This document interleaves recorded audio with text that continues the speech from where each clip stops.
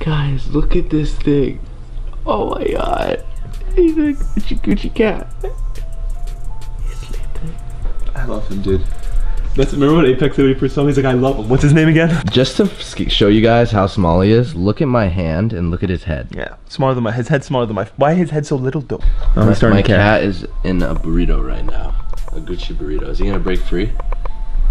Come on, Barry, get out of there. You're a flash. Get out. You got it. Get out, Barry. Get out, Barry. Oh it's no, he's falling back to sleep. you come on, you have a mission to do. you gotta out. save Central City, Barry. Come on. You want a Ken Has cheeseburger? dude. He wants the Ken Has it, dude.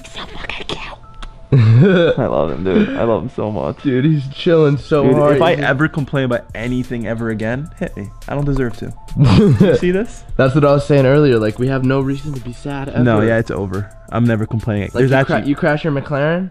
That's all good. Bro, it's all good. Barry's here. Just meet me at like the insurance spot with the kitty and I'm chilling. he's like a little baby. and he listens.